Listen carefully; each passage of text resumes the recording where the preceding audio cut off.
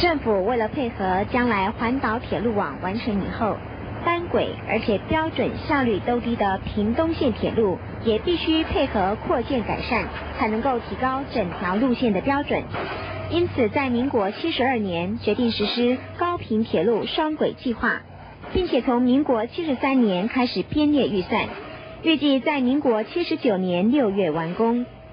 处长，是不是请您说明一下这项工程完成之后的效益？这个改善之后呢，当然我们这个呃速度可以提高了，我们这个这个导窗啊一切的设备都好了，使我们行车的不仅也可以安全，啊安全率也提高了。那么再一个就是我们对经济的效益方面，在高平现在我们地区啊繁荣的很快，我们因为屏东离这个高雄很近啊，说的繁荣的很快，直接受到高雄的影响。说在这个状况之下，我们这个干角道啊，在这个交通方面很有改善的需要。说这样的完了以后，可以使到这个交通啊，可以得到一个疏解。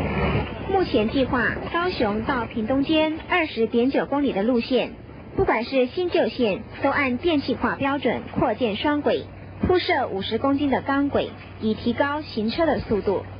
另外，台南到屏东间六十七点六公里，新设双单线中央控制行车号制，使得能够与西部干线划一标准，连贯行车的调度作业。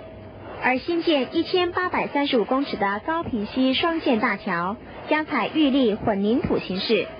当然，每个战场的站房、月台、电讯和照明等设备。都将予以扩建或是改善。